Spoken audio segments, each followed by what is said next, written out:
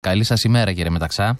Καλημέρα και καλημέρα στους ακροατές σας. Λοιπόν, επειδή ε, είναι οι μέρες ΔΕΦ, έτσι τα λέγαμε και λίγο νωρίτερα στο, στο ξεκίνημα, στην εισαγωγή της εκπομπής ε, και είμαι βέβαιος ότι το κόμμα σας προετοιμάζεται για το δικό του αγωνιστικό α, παρόν στη Θεσσαλονίκη. Ε, θα σας ζητήσω έτσι να μας παρουσιάσετε το γενικότερο πλαίσιο των, των διεκδικήσεών σας.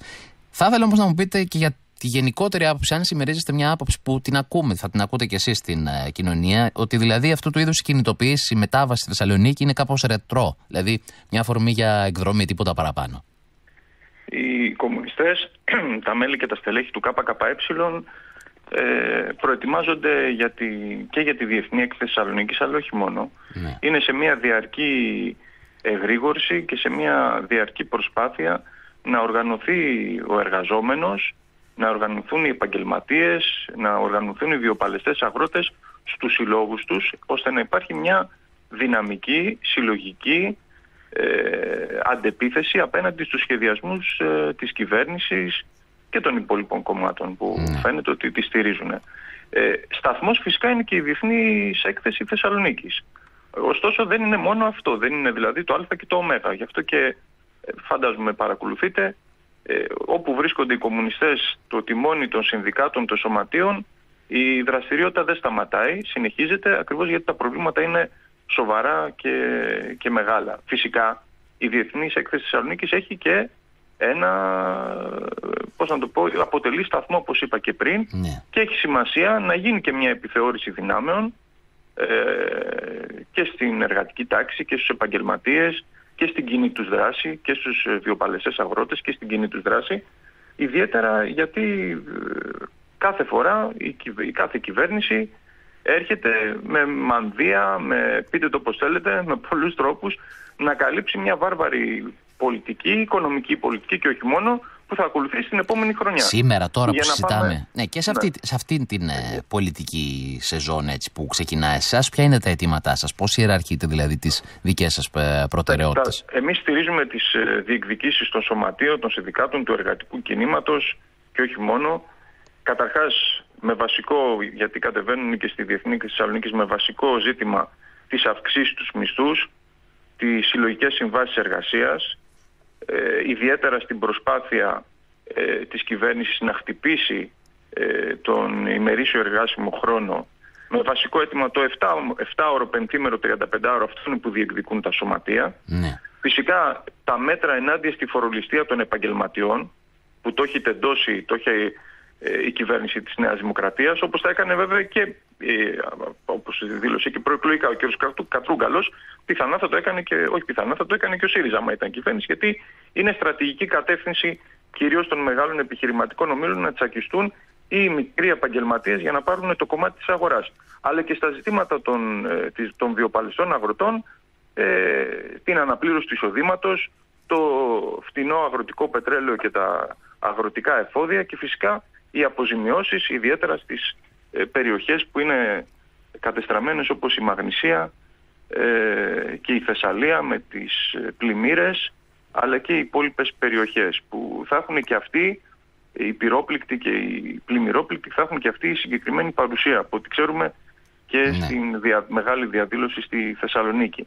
Αυτά είναι, αυτές είναι οι διεκδικήσεις, οι δίκαιες διεκδικήσεις και τα αιτήματα που θέτουν θέτει η πλειοψηφία του λαού μας που τη στηρίζουμε και είναι διεκδικήσεις που θεωρούμε ότι με την πάλη των εργαζομένων μπορούν να, να η πάλη μάλλον των εργαζομένων μπορεί να πιέσει την κυβέρνηση και από την άλλη μεριά έχουμε την ίδια την κυβέρνηση που πώς ανεβαίνει στη ΔΕΔ ανεβαίνει με κάποιες χιλιοανακοινωμένες ε, που τις έκανε ξανά και από τη Θεσσαλία ο κύριος Μητσοτάκης ε, ε, ρυθμίσεις σε σχέση με τις κατεστραμμένες περιοχές που από τις πλημμύρες. Μαθαίνω ότι 1,5 δις για την ενίσχυση των πληγισών περιοχών από τον Τάγγελ της Θεσσαλίας, ναι, αυτή που συζητάμε, τον κύριο Τριαντόπουλο. Ναι, ναι, αυτά τα, ακούμε, αυτά τα ακούμε από την πρώτη μέρα. Ναι. Δηλαδή, Έχει πέρασει ένας χρόνος. Είμαστε στον ένα ναι, χρόνο τώρα, ναι, ακριβώς αυτές τις μέρες. Ναι, και στις ερωτήσεις που έχουμε κάνει στη Βουλή, τι να σας πω, το copy-paste πέφτει σύννεφο. Να το πω απλά. Ναι. Λοιπόν, ε... Άρα δεν έχετε να περιμένετε κάτι, δηλαδή δεν θα ακούσετε με ανυπομονησία τα όσα θα πει ο κ. Μητσοτάκης το Σάββατο βράδυ.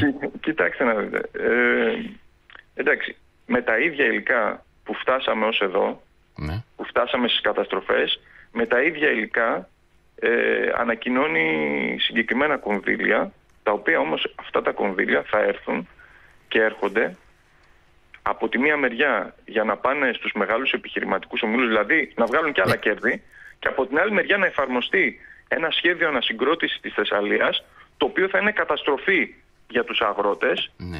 πέταγμα από την παραγωγή, θα είναι ομολογία ότι, όπως έβαζε και το σχέδιο των Ολλανδών και όχι μόνο, αλλά και της περιφέρειας Θεσσαλίας, το, αντι- το αντίστοιχο, ότι η, η Θεσσαλία θα πλημμυρίζει, Ναι. οπότε πάρτε το χαμπάρι, λοιπόν αυτό, και θα είναι ημίμετρα ή μπαζώματα ή μπαλώματα στα πραγματικά έργα που έχει ανάγκη ο λαός. Κύριε Μεταξά, όμως, ωραία όλα αυτά τα οποία συζητάμε και τα αιτήματα που τίθενται. Αν δούμε όμως τη γενικότερη εικόνα, ε, εντάξει, η κυβέρνηση μπορεί κάπως και με βάση και κάποιες δημοσκοπήσεις που είδαμε τώρα στο φθινόπωρο να υποχωρεί. Κανένα κόμμα της αντιπολίτευσης όμως δεν βλέπουμε να εκτοξεύεται, να την απειλεί. Αυτό υπάρχει κάποια εξήγηση για εσάς, για ως, ως, ως ΚΚΕ; Καταρχάς να δούμε και μια ε, γενικότερη εικόνα και στο πεδίο της οικονομίας. Ναι.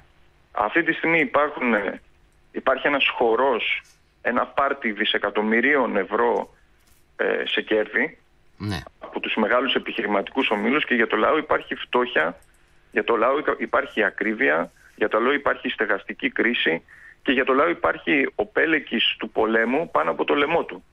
Και ξέρετε και Κλουμπέρι, επειδή είστε κι εσείς από το, Ναι. από το Βόλο, Ναι. Λοιπόν, εδώ έχουμε και, και βάσεις των Αμερικανών όπως και σε άλλες περιοχές της χώρας. Είμαστε και στόχος. Γι' αυτό μιλάω για πέλεκη. Η εικόνα η μεγάλη είναι ότι το κράτος έχει μαζέψει 4 δισεκατομμύρια επιπλέον, επιπλέον φόρους στο πρώτο εφτάμινο του 24 σε σύγκριση με το αντίστοιχο του 23 και έχει δώσει 500 εκατομμύρια λιγότερα σε αυτό που ονομάζεται κοινωνική πολιτική, υγεία, παιδεία και του καθεξής. Αυτά θεωρούμε ότι πρέπει να είναι κριτήριο για την πλειοψηφία του λαού μας ώστε να κάνει το βήμα και να πάρει διαζύγιο από τη λογική που λέει ότι αυτή είναι η πραγματικότητα, ότι έτσι θα κινούμαστε από εδώ και στο εξής, την οποία λογική τη στηρίζει και η Νέα Δημοκρατία και το ΠΑΣΟΚ και ο ΣΥΡΙΖΑ, ο καθένας από το δικό του δρόμο. Ναι. Γι' αυτό εμείς θα κάνουμε και κάνουμε την μεγαλύτερη προσπάθεια ο εργαζόμενος λαός, ε, οι επαγγελματίες, οι αγρότες, οι φοιτητές, οι νέοι άνθρωποι να οργανωθούν και να αντιπι- αντιπιτεθούν, να ανατρέψουν αυτή την κατάσταση. Και θεωρούμε ότι αυτή η συνεπής στάση του ΚΚΕ, οι, οι, οι, οι θέσεις του, οι επεξεργασίες του και κυρίως η πρωτοπόρα στάση στους χώρους δουλειάς με τους κομμουνιστές που δίνουν μάχες και έχουν και ε, αντίκτυπο αυτές οι μάχες και έχουν βέβαια και, και πώς να το πω, προκαλούν και την αντίδραση. Ε, Αλλά ε, συνεχίζουν και παραμένουν μπροστά και όχι μόνο μαζί με άλλους αγωνιστές. Θεωρούμε ότι όλα αυτά, σαν δικό μας χρέος, είναι που μπορούν να αλλάξουν πραγματικά την Σε κατάσταση. αυτή την προσπάθεια Και που βλέπουμε- κάνετε Και για βλέπουμε την ότι αλλα- υπάρχει, υπάρχει, υπάρχει αποτέλεσμα. Σε αυτή Το την βλέπουμε. προσπάθεια που κάνετε, κύριε Μεταξά, για την αλλαγή της κατάστασης, θέλω να σας ρωτήσω αν θεωρείτε ότι ένας κόσμος που ε, ε, ψήφιζε ή ψηφίζει ΣΥΡΙΖΑ, ε, αν θα μπορούσατε και με βάση τις δεδομένες εξελίξεις που υπάρχουν ε, στο κόμμα της ε, αντιπολίτευσης, εξωματικής αντιπολίτευσης, αν θα μπορούσατε ε, με ένα τμήμα αυτών των ψηφοφόρων να συμπλέψετε ή να απευθύνεστε και σε αυτούς, ε, ίσως και με ένα τμήμα των διαφωνούντων στελεχών του, με την ηγεσία εννοώ. Κοιτάξτε, εμείς καταρχάς ε, αντιμετωπίζουμε τους εργαζόμενους, αντιμετωπίζουμε τις λαϊκές οικογένειες ως λαϊκές οικογένειες, ανεξάρτητα με το τι ψηφίζουν και έχουμε όχι μόνο διάλογο, συζήτηση και κοινή πάλι ε, στη- στα χωριά, στις γειτονιές, στους χώρους δουλειάς, παντού. Ναι. Ε, αυτό που βλέπουμε τους τελευταίους μήνες, τις τελευ- τις τελευταίες εβδομάδες, τις τελευταίες μέρες, αυτό το σύριαλ στη σοσιαλδημοκρατία, που αφορά φυσικά το ΣΥΡΙΖΑ, τον οργανωτικό πολιτικό εκφυλισμό, που τέλος πάντων δεν έχει πάτο από ό,τι φαίνεται, κάθε μέρα έχουμε και καινούρια ε, που ακούμε, Ναι. αλλά αφορά και το ΠΑΣΟΚ, θεωρούμε ότι αποτελεί ε, μια ευκαιρία για έναν κόσμο που ακολουθούσε αυτά τα κόμματα, ε, μια ευκαιρία ε, για να τραβήξουν γραμμή Μάλιστα. και να, να βγάλουν, να, να, να δούνε αν τελικά αυτός ο χώρος προσέφερε σε αυτό που ε, απαιτείται σήμερα που περιέγραψα πριν, δηλαδή την ανάταση του εργατικού λαϊκού κινήματος που αποτελεί ο μόνος τρόπος και ο μόνος δρόμος για να καταφέρουμε να διεκδικήσουμε, να σταματήσουμε και να ανοίξουμε δρόμο προοπτικής. Και σε, αυτή, σε αυτό ναι. ε, εννοείται έχουμε ανοιχτή πρόσκληση και ήδη έχουμε συζήτηση και ήδη υπάρχουν ε, και μέλη αλλά και στελέχη του ΣΥΡΙΖΑ με τους οποίους έχουμε έρθει σε, σε αυτή τη συζήτηση έχουμε ανοίξει δρόμους επαφής, κάτι το οποίο φυσικά θα το συνεχίσουμε. Μάλιστα, σαφές. Και ε, επιτρέψτε μου... Ναι, ε, και ολοκληρώστε κύριε είμαστε, Ολοκληρώνω με αυτό. Είμαστε λοιπόν ε, αρχές Σεπτέμβρη. Ο Σεπτέμβρη για μας είναι μήνας φεστιβάλ. Είναι το φεστιβάλ της ωραία, ναι, ναι, ναι. Πείτε μας που πότε φέτος είναι. μάλιστα συμπληρώνει 50 χρόνια. Λοιπόν, ε, θα κορυφωθεί με τις εκδηλώσεις στην Αθήνα 18 με 21 Σεπτέμβρη στο πάρκο Τρίτσι στα Ελίσια στα, συγγνώμη, στο Πάρου του Ιτζή στο Ήλιο. Στο Ήλιο ναι. ε, φυσικά θα έχουμε και άλλες εκδηλώσεις όπως το Σάββατο θα υπάρχει εκδήλωση στην Αθήνα του Ζωγράφου που έγινε το πρώτο φεστιβάλ ε, της ε, ΚΝΕ και του οδηγητή εκεί.